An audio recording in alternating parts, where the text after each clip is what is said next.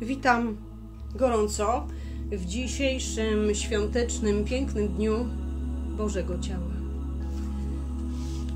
Pragnę zaprosić Was do posłuchania o świętej Weronice Giuliani. Według mnie i nie tylko. Niezwykłej, wielkiej świętej. Poznałam ją w tamtym roku. W zasadzie jest to moja patronka, ponieważ moje trzecie imię brzmi Weronika.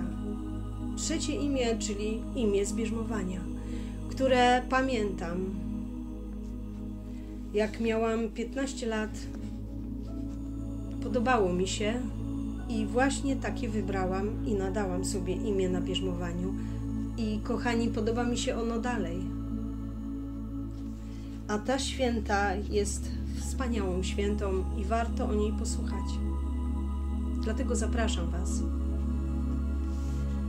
Święta Weronika Giuliani, dziennik życia wewnętrznego. Leone Ventrej, część pierwsza, czyta Sylwia Niezapominajka. Gdy Pius IX po raz pierwszy czytał dziennik świętej Weroniki Giuliani, czyli relacje z jej życia, zawołał. Ależ to nie święta, to niezwykła święta. Istotnie, Weronika to gigant świętości.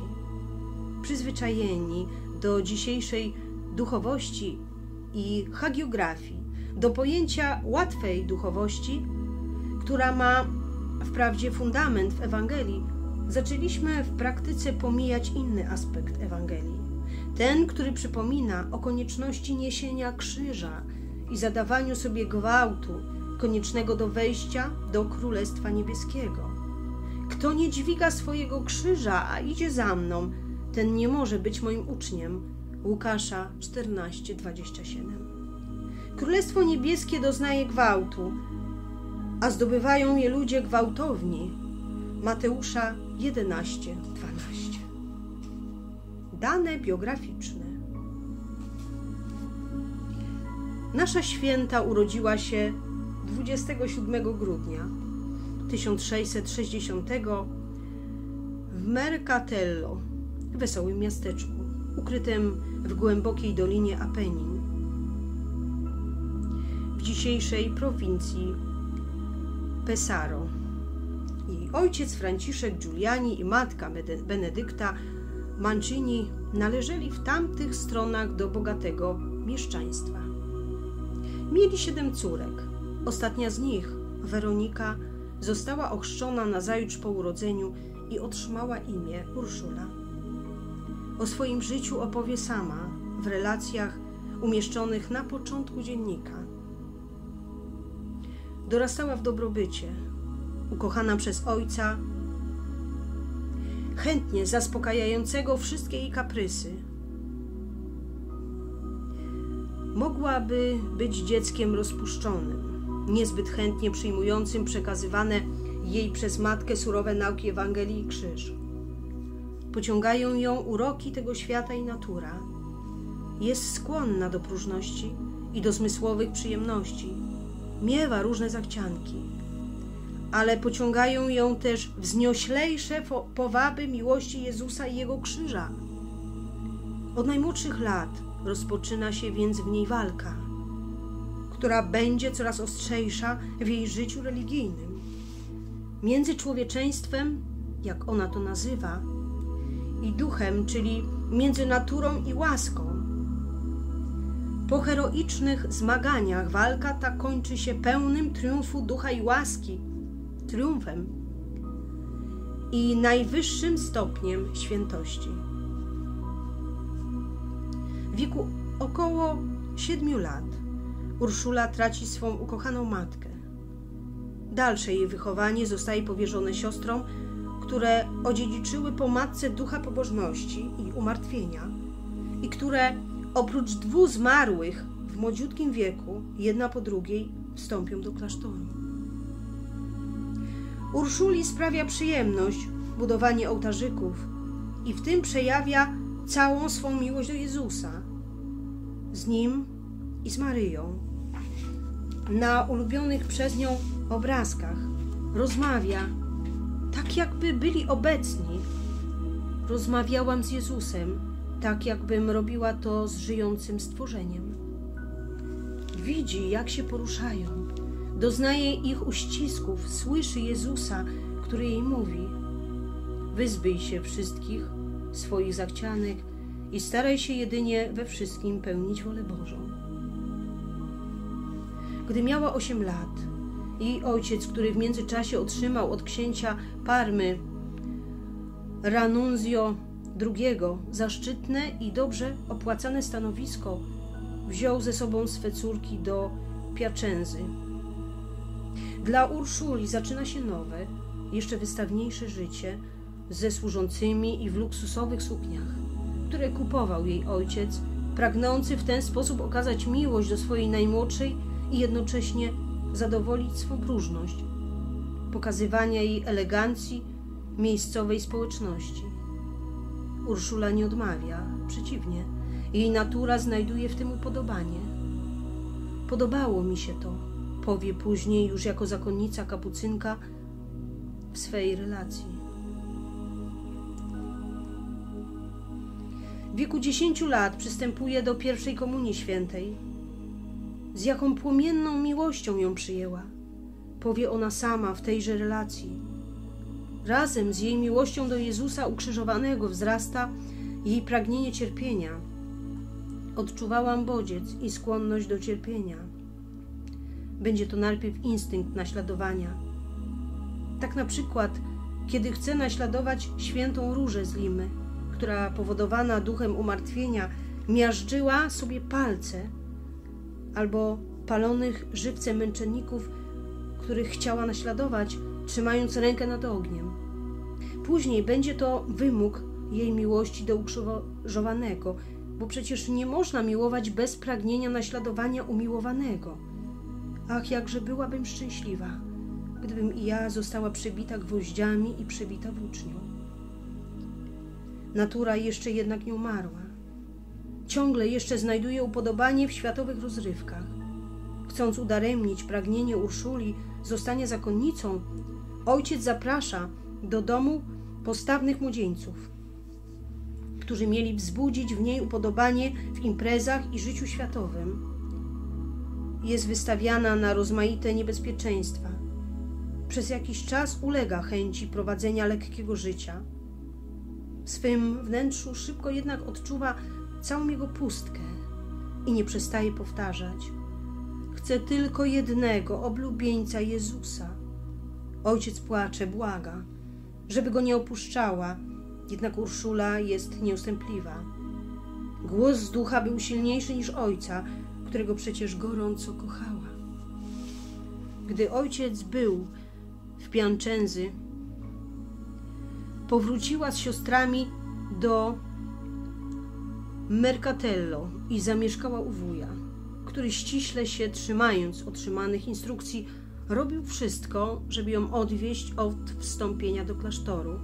Wspomagany w tym przez siostry, które chciały, żeby jedna z nich została z ojcem, Urszula z tego wszystkiego rozchorowała się.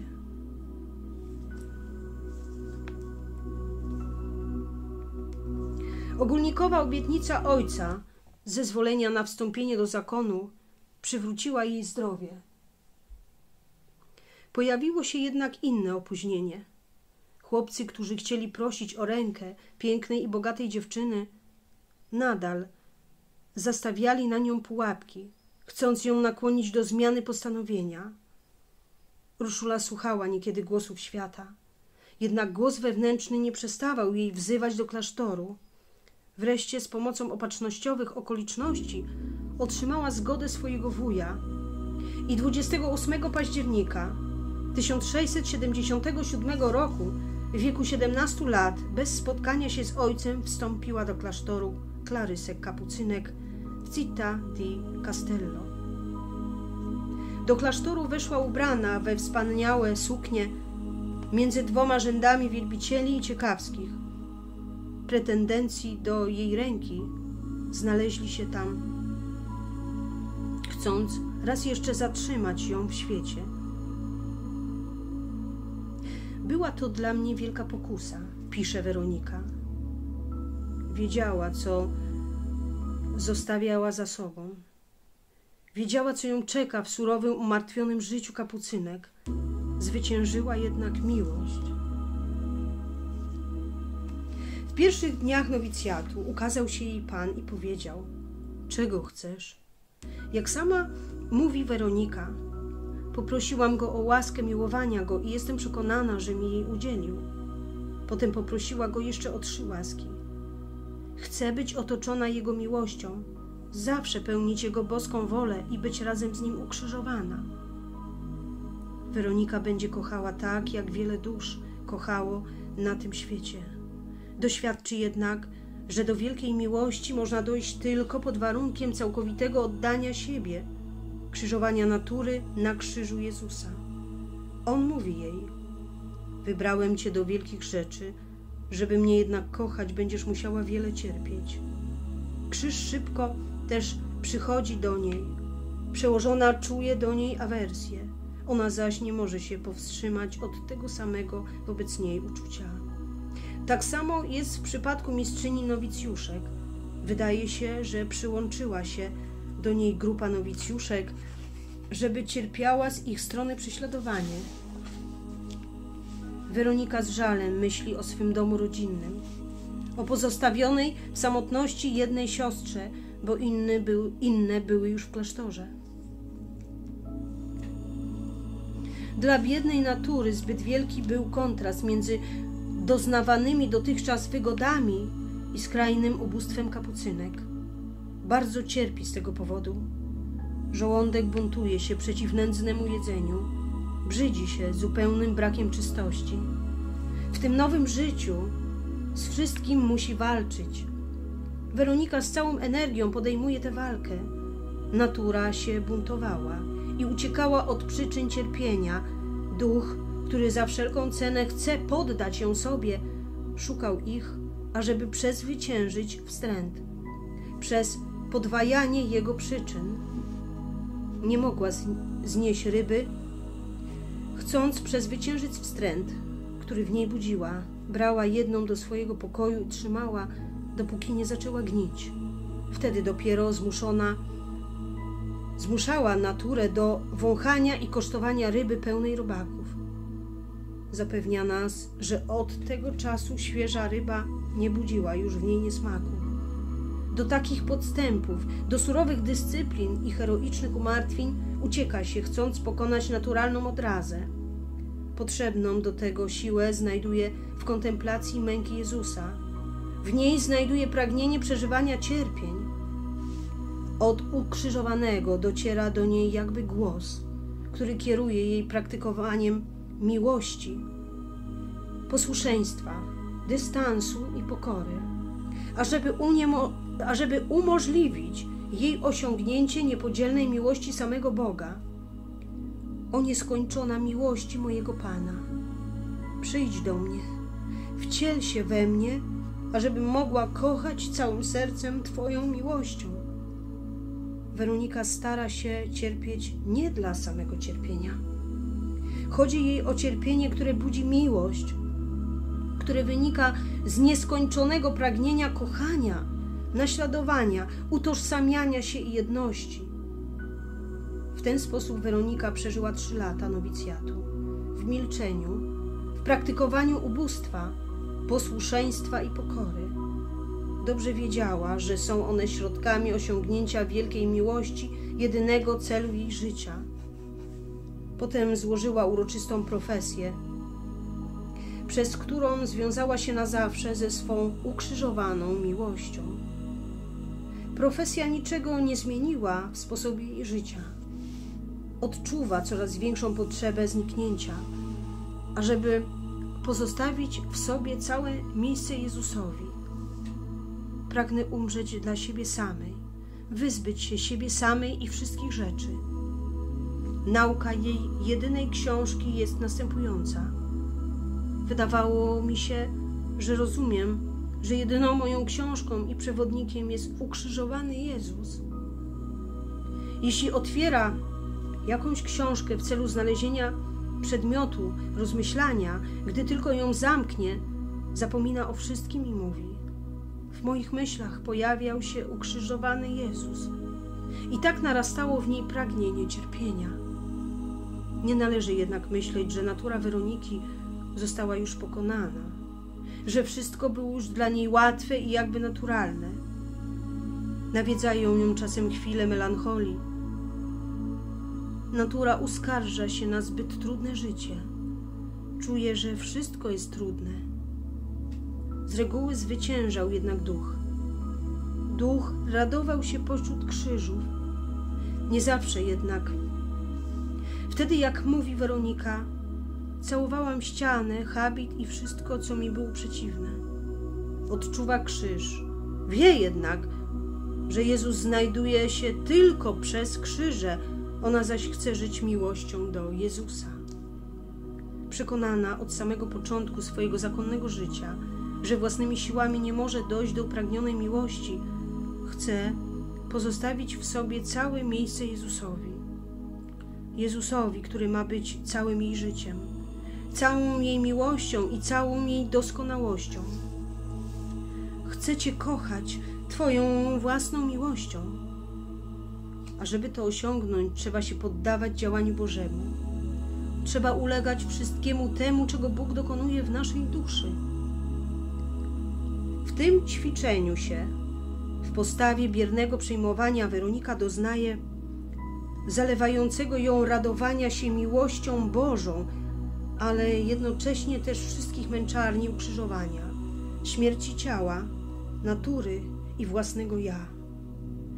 W oschłości powodowanej przez tę śmierć, bardziej jeszcze nieznośnej z powodu jej nieskończonej potrzeby miłowania, woła rozpaczliwie do Boga, który wydaje się jej nieobecny i biegnie niestrudzenie w poszukiwaniu ukrywającego się oblubieńca.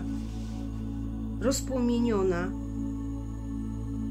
dusza, rozkochana w miłości, znajduje pokój w coraz doskonalszym zdawaniu się na wolę Bożą, która stanie się pod koniec jedyną regułą jej życia, doskonałą formą biernego poddawania się działaniu Boga. Jeżeli takie jest Twoje upodobanie i taka Twoja wola, ażebym była tak opuszczona i pogrążona w wewnętrznych ciemnościach, gotowa jestem poddawać się w tym wszystkim Twojej świętej woli. W dalszym ciągu toczy się jednak walka między naturą i duchem, ponieważ złożyła siebie w ofierze jako zadośćuczynienie i pośredniczkę między sprawiedliwością Bożą i grzesznikami. Pośredniczkę służącą duszą w czyśćcu rzeczywiście ponawia mękę Chrystusa. Doznaje wszelkich jej cierpień i całej goryczy, jednak jarzmo stało się słodkie i ciężar lekki. Pod wpływem miłości, która jest coraz słodsza w miarę wzrastania w oddawaniu się krzyżującej miłości.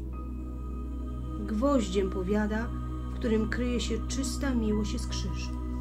A pragnienie miłości jeszcze tylko powiększa pragnienie dusz.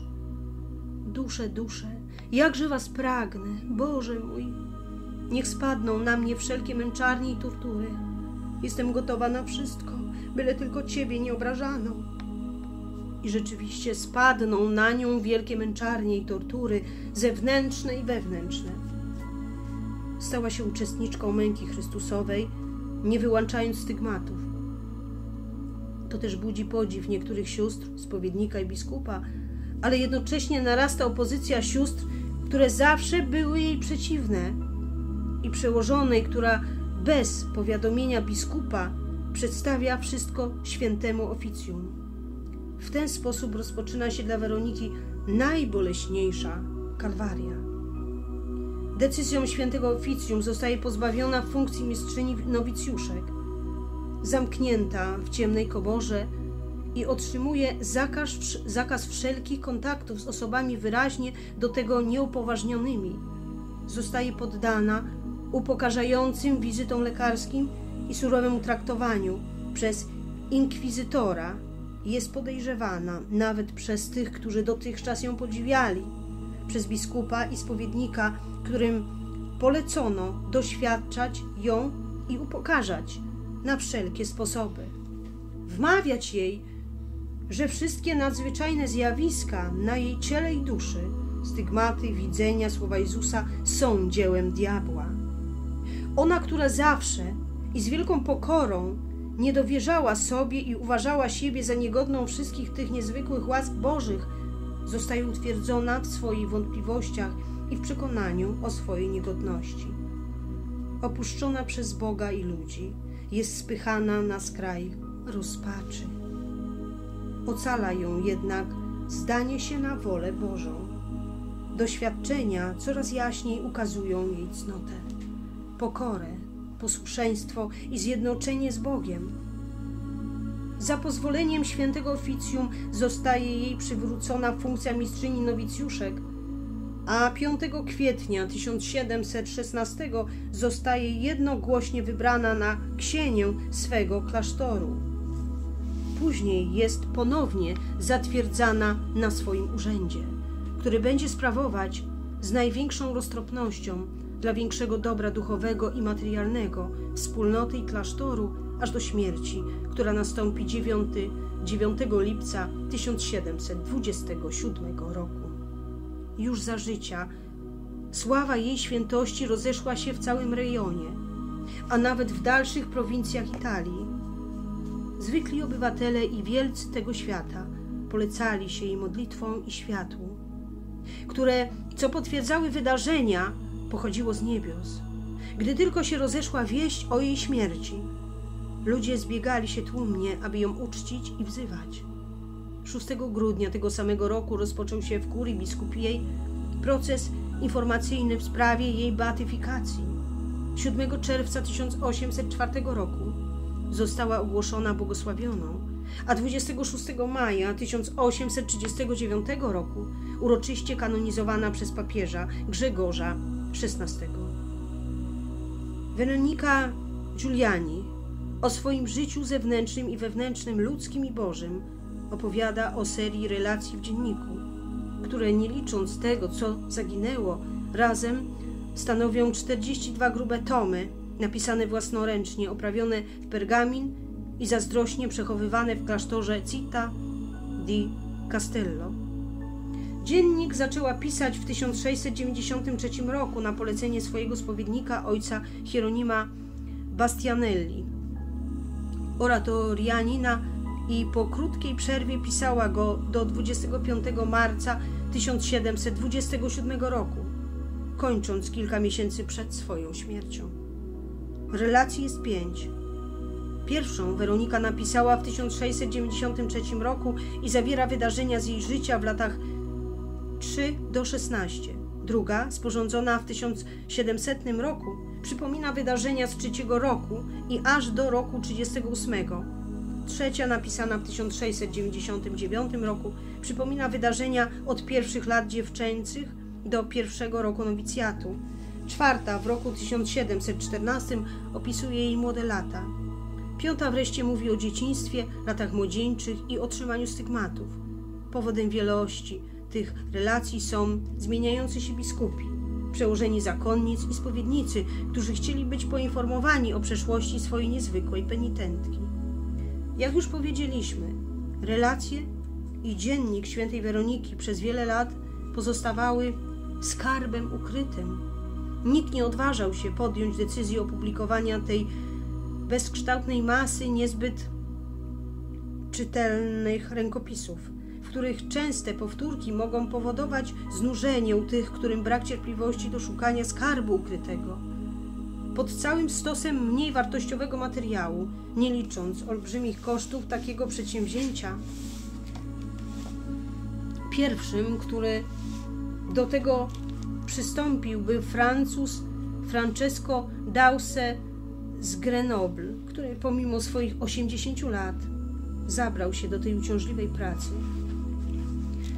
Opublikował jeden tom w języku włoskim z przekładem na francuski w roku 1883. W latach 1884 i 1885 ukazały się dwa włoskie tomy: Śmierć ojca Deuse a przerwała te publikacje. W roku 1891 podjął się na nowo kanonik sycylijski Aniable di Francia, ale publikacja zatrzymała się po pierwszym tomie. Wreszcie jezuita, ojciec Piotr Piziczaria 1824-1913 dostarczył nam ośmiu tomów dzienniczka, których publikowanie ukończyło się po jego śmierci z okazji drugiego stulecia od śmierci świętej Weroniki w roku 1927. Relacje i dziennik zawierają opis jednego z najgłębszych, najbogatszych i najwspanialszych doświadczeń religijnych. Jednak zawarty w nich skarb, pomimo ich publikacji, nadal pozostawał ukryty. Niewiele osób miało odwagę nabycia tych dziesięciu, dziesięciu grubych tomów i zadania sobie trudu przeczytania osiem tysięcy stronic. Tym bardziej, że mamy tu do czynienia ze świętą prawie nieznaną, a jej biografowie starali się ukazywać elementy niezwykłe, niemożliwe do naśladowania. Fantastyczne, a więc wszystko, co budzi lęk biednej natury i u czytelników zbyt racjonalnych.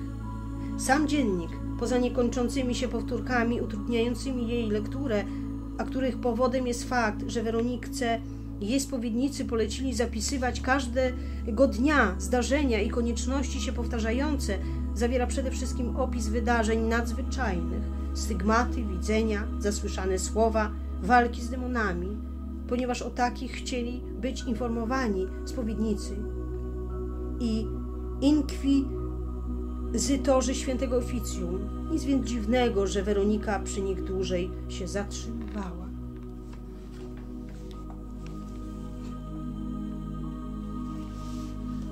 Pominiemy też opisywanie jej niezwykłych umartwień, często niemożliwych do naśladowania, pokut aprobowanych przez jej spowiedników, których jednak dzisiaj nikt by nie autoryzował poza konkretnymi przypadkami stwierdzenia oczywistej woli Boga. Zachowamy natomiast to, co naświetla ducha umartwień świętej Weroniki, ducha, bez którego nie ma ani świętości, ani duchowego rozwoju, ani życia nadprzyrodzonego. Tak postępując, sprowadzimy duchowe życie Weroniki do jego czystej linii klasycznej, uwalniając je od barokowych nadbudówek, którymi dotychczas je obciążano. Będziemy unikać przedstawiania duszą faktów i praktyk zdolnych bardziej niebezpiecznie pobudzać wyobraźnię i odwodzić je od właściwej drogi doskonałości niż nauczać drogi świętości ewangelicznej, od której Weronika nie chciała się oddalać. Istotnie, zabraniała ona swoim nowicjuszkom czytania książek opisujących fakty nadzwyczajne i nie dawała łatwo wiary tym, które się wydarzały jej samej i o których opowiadała jedynie z posłuszeństwa spowiednikom i przełożonym. Tak więc dla okazania posłuszeństwa opisze wszystko zwięźle, nie należy jednak uważać, że tym rzeczom daje wiarę, bo zawsze się lękam, że są to produkty mojej wyobraźni.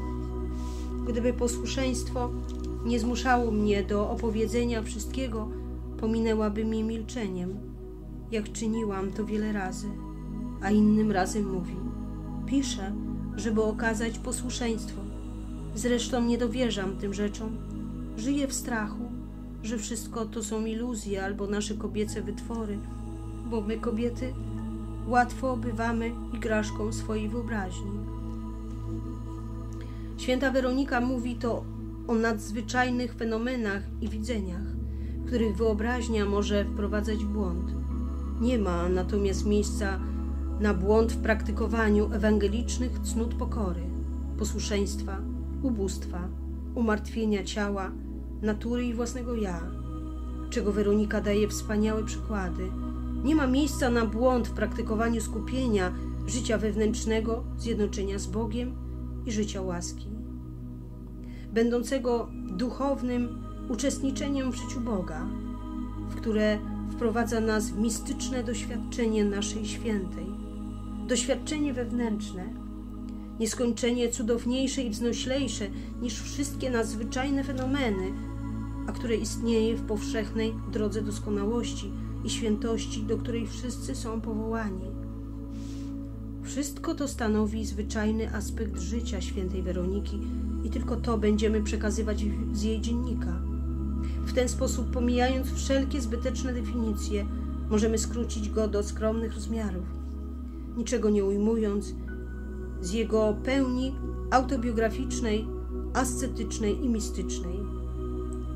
Przeciwnie, przez zachowanie własnej formy dziennika w jego porządku chronologicznym, zamiast łączenia wybranych myśli dotyczących jakiegoś przedmiotu czy jednej cnoty, jak to czynili inni, nasze kompendium będzie miało tę zaletę, że ukaże stopniowy rozwój doskonałości i życia Bożego w duszy. Rozwój, który znika z oczu przy rozwodzeniu się na temat szczegółów i przez uwzględnianie istniejących w kompletnej wersji dziennika powtórek. W ten sposób będziemy mieli oparty na rzeczywistym i pełnym doświadczeniu przepiękny traktat życia duchowego i niezrównany opis warunków wzrastania duszy w Bogu, jak również rzadki dokument nadprzyrodzonej mistyki i psychologii religijnej. Tworząc całość z dwóch pierwszych relacji, przez wybrane i chronologiczne uporządkowanie obydwu, otrzymamy jasny rozwój duchowego życia Weroniki do roku 1693, czyli daty rozpoczęcia pisania dziennika. Obchodząc się z nim później tak, jak robi się z tysiącami metrów przygotowywanego filmu, odrzucimy z niego wszystko, co niepotrzebne oraz to, co stanowiłoby przeszkodę przedstawianiu jego rozwoju, życia i jedności wyrazu. W rezultacie otrzymamy żywą obecność duszy dążącej do Boga i zdobywającej miłość. Koniec części pierwszej. Dziękuję, kochani, za uwagę. Już wkrótce zaczniemy od drugiej części. Posłuchamy o życiu od początku świętej Weroniki. I to życie ona będzie sama opisywać w swoim, jak wcześniej czytałam, dzienniku. Dziękuję.